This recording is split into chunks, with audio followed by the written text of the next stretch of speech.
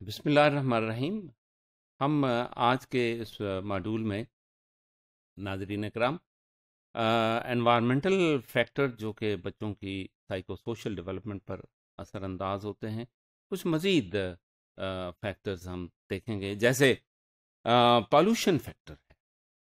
Pollution से मुराद ये है कि उसके इर्द गिर्द जो फ़िज़ा है, वो उसके अपने यानी विसिनिटी में उसके अपने रूम के अंदर, उसके अपने घर के अंदर की जो फ़िज़ा है, वो किस तरह से है? और बाहर से जो हवा और फ़िज़ा या ऑक्सीजन उसे दस्तियाब है, वो किस तरह से है? तो इसमें पहला जो फैक्टर है वो polluted indoor and outdoor air है। यानी हवा की मौजूदगी और उसका फुल ऑफ़ ऑक्सीजन होना, ये बड़ा ज़रूरी है। और उसमें अगर ऑक्सीजन की कमी होती है और इसकी वजह घर के अंदर का का माहौल जो है ना वो उसको मुतासर करता है।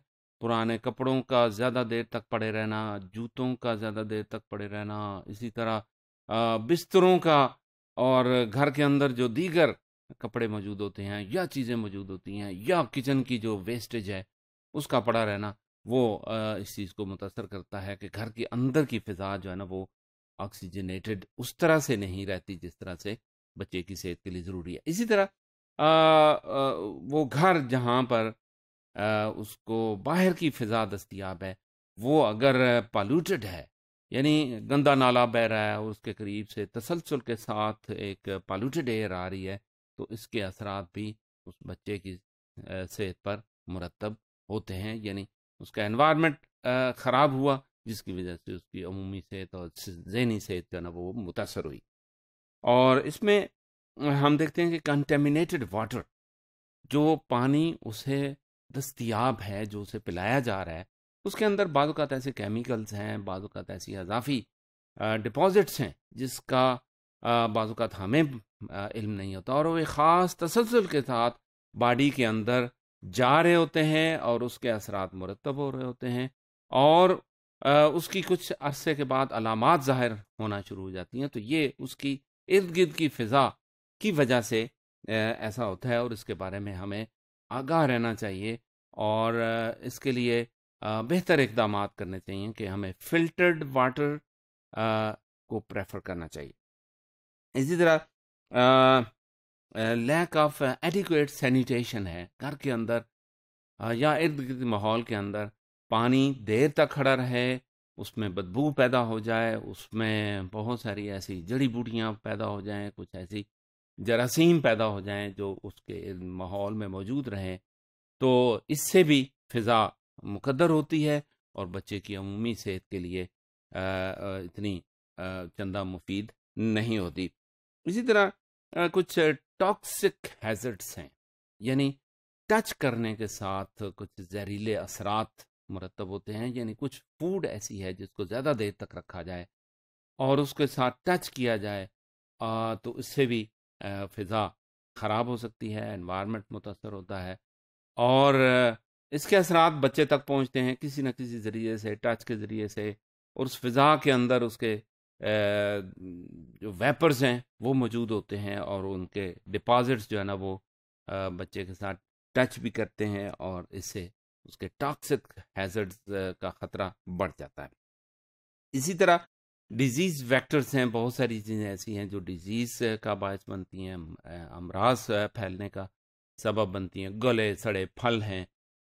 उनका पड़े रहना, ज़्यादा देर तक रखना, उनको खाना और सम टाइम ये है कि हम उसको काट के बाज़ात खाने की कोशिश कर रहे होते हैं। इससे भी यह है कि उसके असरात मुरतब हो सकते हैं। इसी तरह अल्ट्रा अल्ट्रा वायलेट रेडिएशंस हैं। बाज़ ऐसी रेडिएशंस हैं जिसका हमें अंदाज़ा नहीं होता जिसमें ख़ास तौर पर ये जो हमारी ultra violet rays X rays हैं इसका इस्तेमाल बच्चों के लिए ज़्यादा देर तक उसका इस्तेमाल करना आ, वो बहुत ज़्यादा नुकसानदेह होता है।